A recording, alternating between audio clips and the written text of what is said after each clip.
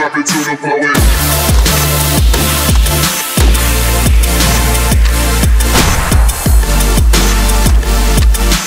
Jump, jump, jump into the